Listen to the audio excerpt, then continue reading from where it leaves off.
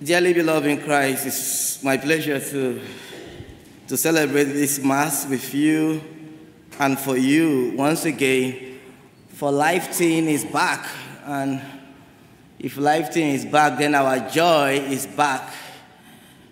Thank you very much for being part of this wonderful ministry of youth formation, either as the youth or as ministers or as parents supporting the formation of our kids. There are so many talking points in today's liturgy of the word, but I do understand that young people don't like long messages. So I will do my best to keep it short if possible. The gospel text today presents us with a very strange parable, a parable of the dishonest servant or steward. Unlike last Sunday, we, where we had three beautiful parables that were direct to the point of emphasis, this particular parable is to be carefully looked at, lest we misunderstand it and understand and fail to get the message of Christ. This parable of the dishonest steward is simply an analogy. Christ uses this to challenge the people of light to do more and be more goal oriented. So it says, if those who are dishonest, if lovers of money take seriously the security of their source of money, how much more the children of light, the lovers of salvation, should take seriously the business of their salvation. So we are not by any way encouraged by this scripture or parable to consider dishonesty on our way to heaven. Dishonesty is no pathway to salvation. But however people are bad, there's something good about them. No one is completely evil. So, in looking at those who are lovers of money, who consider material things much more important than spiritual things, we could take one or two lessons from them. The kind of passion that they show about the things of this world, we too should be that passionate about our salvation. If they use dishonesty to protect their interests, we ought to use this we ought to use honesty to protect our own interests. If they are generous with unclean money, we should even be more generous with our hard earned legitimate income. The dishonest servant was praised by his master because of his consciousness of the future. He was so mindful of what the future would hold. So he was swift to plan ahead. What plans do I have for my future? What plans do you have for your future? And the most important future ahead of us is eternity. Where am I planning to spend my eternity? A big question for you and I to answer as we journey through our earthly life. In the first reading today, we listen to a very strong, firm prophet, Prophet Amos, who was a very, very brutal speaker. He spoke the truth without sugarcoating anything. He was not diplomatic about speaking the truth. He was a champion of social justice. So he spoke against social injustice of his time. He condemned the disparity that existed between the rich and the poor. That the rich, who though were very, very pious, who would assemble in the church just as we are assembled this evening, were still insensitive to the needs of the poor.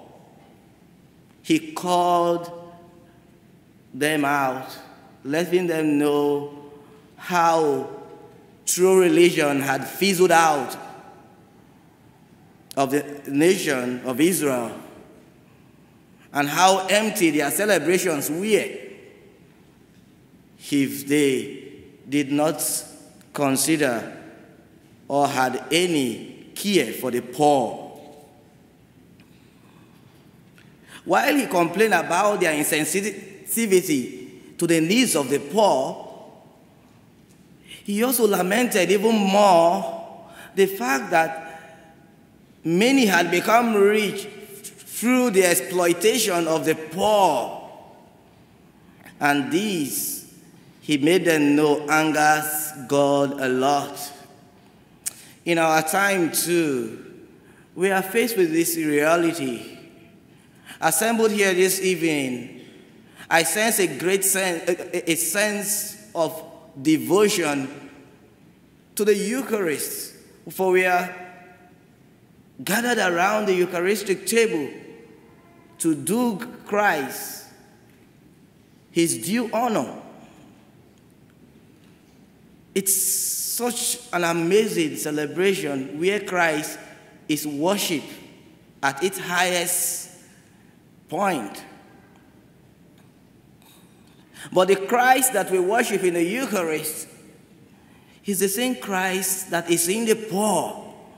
So if we give him reverence here in the church, same reverence too is to be paid to him wherever he is found.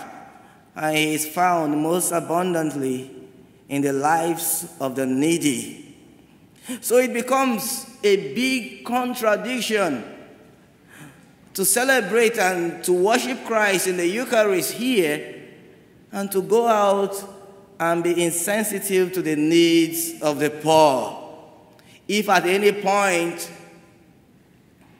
I sense a surplus in my income, if I ever find out that I have more than I need, that is an indication that I need to extend a helping hand to somebody. We are even required to make sacrifices for others, to inconvenience ourselves in order to make others comfortable, to impoverish ourselves in order to enrich others. Such is the expectation of our religion, for it is the true religion.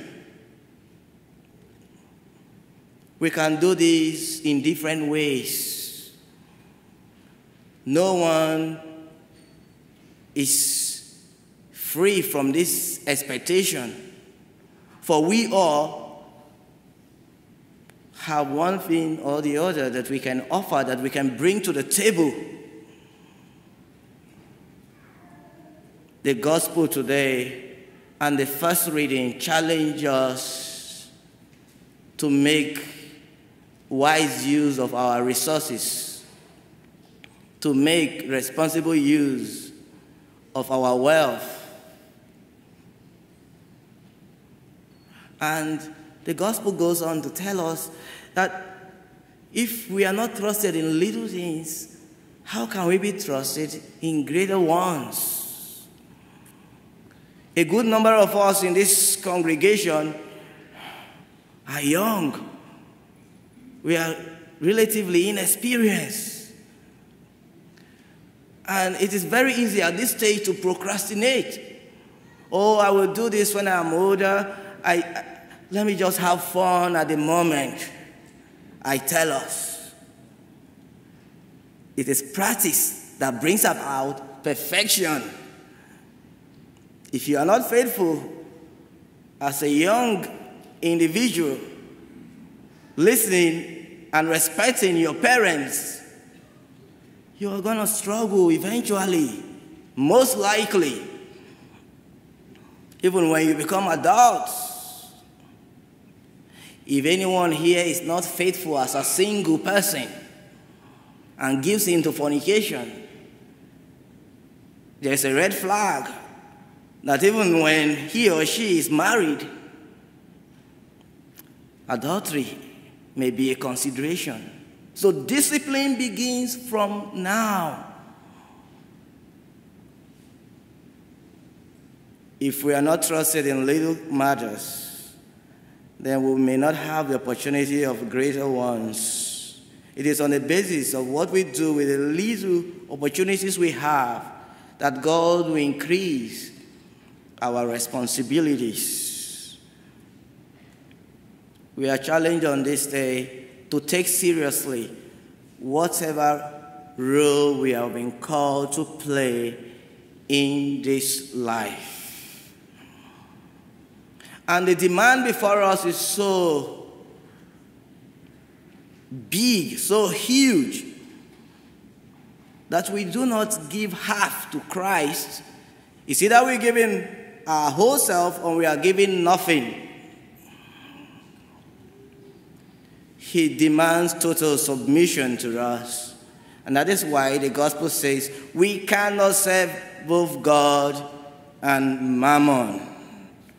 The choice is ours today to make either to be radically for Christ or to be radically for money. But it is most important that we must expect an end to whatever we do in this world. There will be a day of reckoning, a day of accountability. We all must answer for all the positions we have held, all what God has given to us. For we are all stewards. Whatever we have in our possession, we are not really the owners, we are only caretakers. When the account is required of us, are we going to be found wanting?